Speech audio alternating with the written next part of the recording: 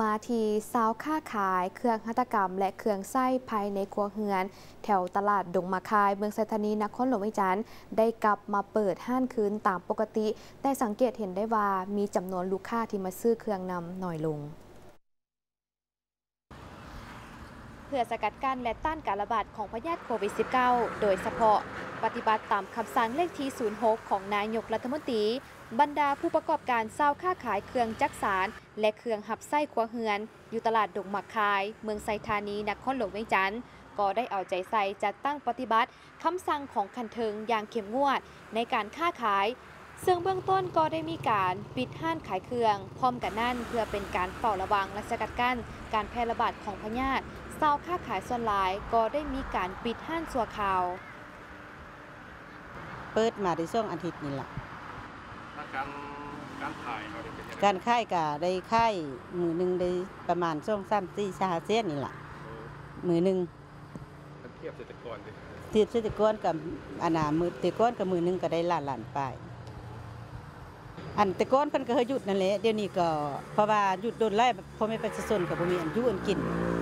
เขาก็ได้มาเปิด ช่วงนี้มันโควิดเนาะมันวิกฤตผู้ใดก็ซื้ออันแนวจำเป็น อันบ่จำเป็นคือแนวเต้าแนวนี้บ่จำเป็นก็จะเอาซื้อเท่านึงแล้วก็แล้ว แต่ว่าบ่ค่อยได้ขายดอกช่วงนี้นะเทียบใส่เมื่อก่อนเทียบใส่ก่อนนั่นเองเออเมื่อก่อนได้ขายได้ขาย เพราะว่าช่วงนี้ซะบ่มีบุญมีงานเนาะซะบ่มีบุญมีงานแล้วซะก็บ่เฮ็ดบ่ซื้อเสร็จซะไหมคันสมเทียบซะเมื่อก่อนสิต้นกันหลายว่าการค้าขายนี่ เดี๋ยวนี้นี่ขายก็ได้มือละ4 5แสน7 8แปดแสนเป็นหลายสุดมือก่อนนั่นเออบุสร้างสิเว้าเนาะมือหมานเขาก็ได้หลาย โอ้ผลกระทบต่อการค้าขายนี่แหละเขาบ่อยากออกเหือนเด้บ่จำเป็นเขาก็บอกเหือนเด้เฮาก็หากันมาขาย4 5หมื่นนี่เฮาก็หากันมานี่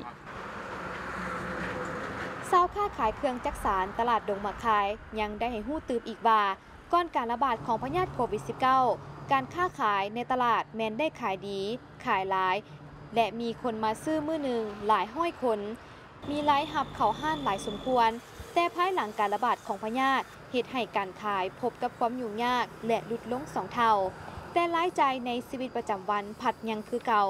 ดังนั้นจึงอยากให้ภาคส่วนที่เกี่ยวข้อง เบิ่งคืนในการผ่อนผัน ด้านการเสียพันธาต่างๆ ในระยะพยาธิกำลังระบาด ถึงอย่างไรก็ตามบรรดาเศร้าวค้าขายก็จะเอาใจใส่เข้าห่วม ในการจัดตั้งปฏิบัติ ตามคำสั่งขันเทิงอย่างเข้มงวด ในการป้องกันและสกัดกั้นการเฝ้าระวังพยาธิโควิด -19 ให้หมดไปจากประเทศเฮา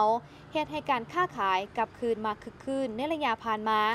นอกนั้นในส่วนระยะปฏิบัติมาตรการผ่อนผัน ในระหว่างวันที่ 4 ถึง 17 พฤษภาคม2020ทั้งเซาวค้าขายก็จะได้พร้อมกันเอาใจใส่อย่างเข้มงวด โดยเฉพาะ บรรดาขอห้ามต่างๆ